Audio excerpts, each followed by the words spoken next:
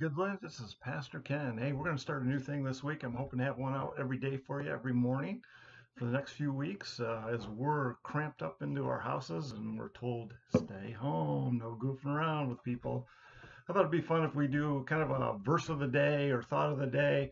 So I'm going to read some verses, but what I want you to do is if you have a way, uh, a laptop like me, to videotape yourself or your phone, videotape uh, if you got a verse that you'd like to share with us, videotape it, email it to us, or contact us at our email address, or give me a call, and we'll tell you how to get that video over to us, and we'll share it with other people uh, as we do this. And maybe we get some other people besides me uh, talking about the verse of the day, maybe your favorite verse or verse that's impacted you recently.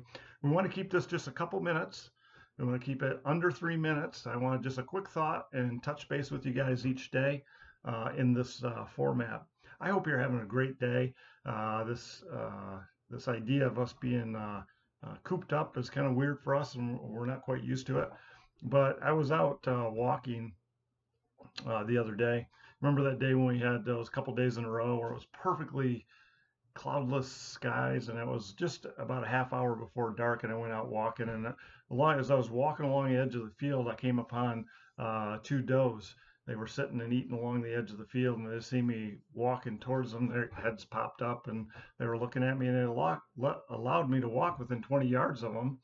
And we sat there and looked at each other and they weren't too panicky about it and didn't seem it didn't look like I was much of a threat I assume.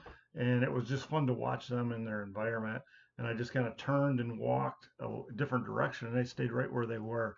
And it was neat to see. And as I was turned and walked probably another 20 yards I heard Canadian geese uh, honking. And I looked up into the sky, into this dark blue sky, just beautiful. As I'm watching them fly by, just uh, uh, you know, 100 feet or so above me, they go right in front of the moon. There's a half moon out there in that beautiful sky, and just the sun setting. And what a beautiful day to be in creation. Though maybe been trapped all day, so to speak. And you know me, I'm on the fly and I'm antsy, but uh, it was great to be out in God's creation. And so, our verse for you today is Romans chapter 1, verses 19 and 20 It says this For what can no, be known about God is plain to them because God has shown it to them. For his invisible attributes, namely his eternal power, his divine nature, have been clearly perceived ever since the creation of the world in the things that have been made, so they are without excuse. What a, what a beautiful verse that talks about, hey, just looking at God's creation, when we're out in creation, we can see the attributes of God. We can see how awesome God is.